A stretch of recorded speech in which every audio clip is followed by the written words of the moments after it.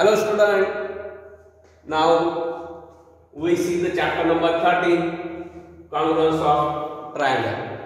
Here triangle DF is given.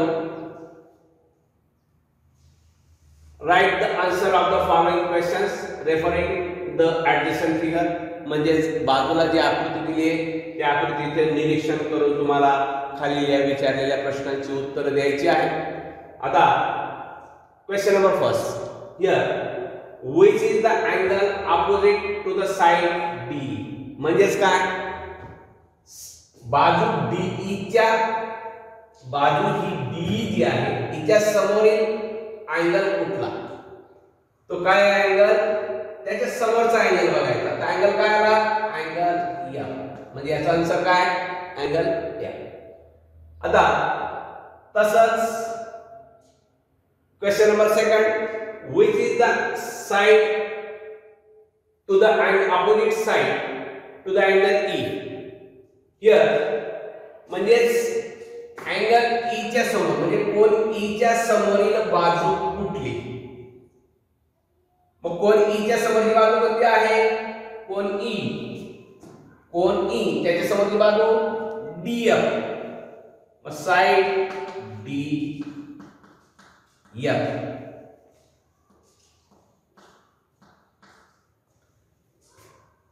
Now, question number third. Which angle is included by side DE and DF? म्हणजे त्याचा अर्थ काय which angle is included म्हणजेच कोणता कोण समाविष्ट आहे साईड डीई आणि साईड डीएफमध्ये आता डीई कुठं आहे डीई आणि डीएफ याच्यामध्ये कॉमन बिंदू कुठला आहे D म्हणजेच याचा अर्थ हा जो अँगल आहे हा अँगल काय बाजू डी आणि डी ने काय केला आहे? समाविष्ट केला आहे. म्हणून आपण काय म्हणणार?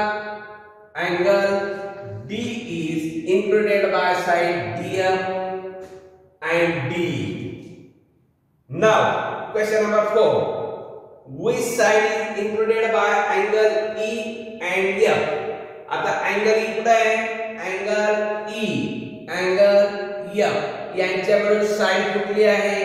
तर यांच्यामध्ये समाविष्ट असलेली बाजू साईड एफ साईड एफ आता तसंच question number five state the angle adjacent to the side E आता स्टेट म्हणजे काय लिहा? The angles adjacent side adjacent म्हणजे लगतच्या बाजू. साइड डी डी कुठे आली? ही डीई या डीई च्या लगतच्या बाजू कोणत्या तर side E side E and and side D E side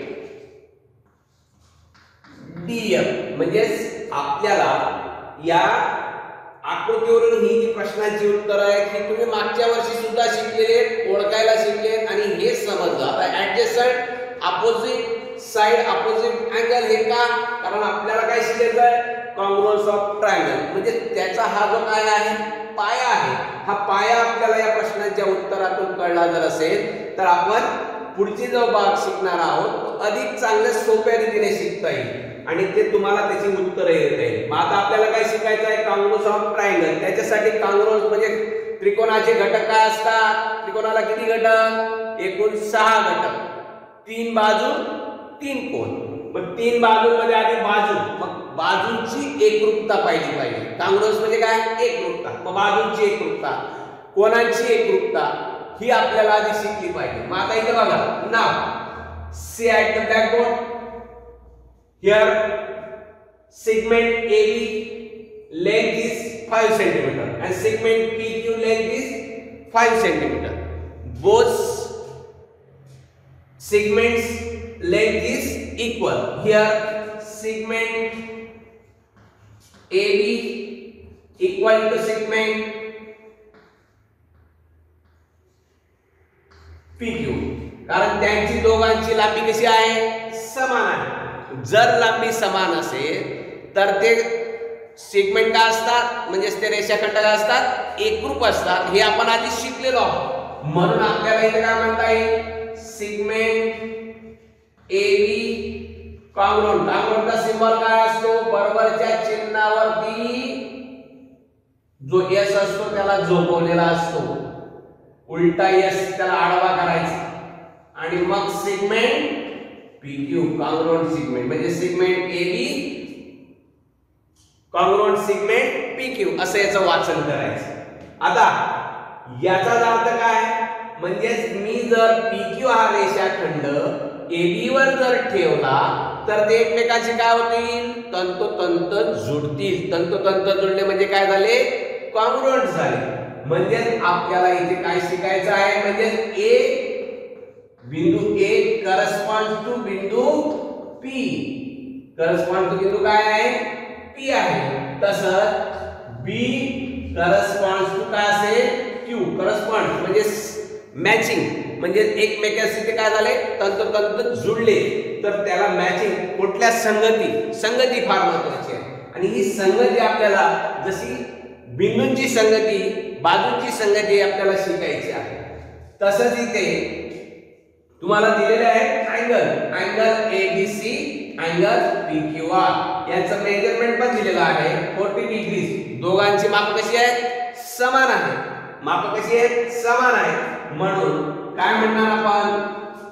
Angle measurement of angle A B C equal to measurement of angle P Q R मग हे मेजरमेंट जर त्यांचे समान असते माप समान असते तर कोण काय असतात एकरूप हेच आपण सातवीला शिकलेलो आहोत. आता इथं बघा.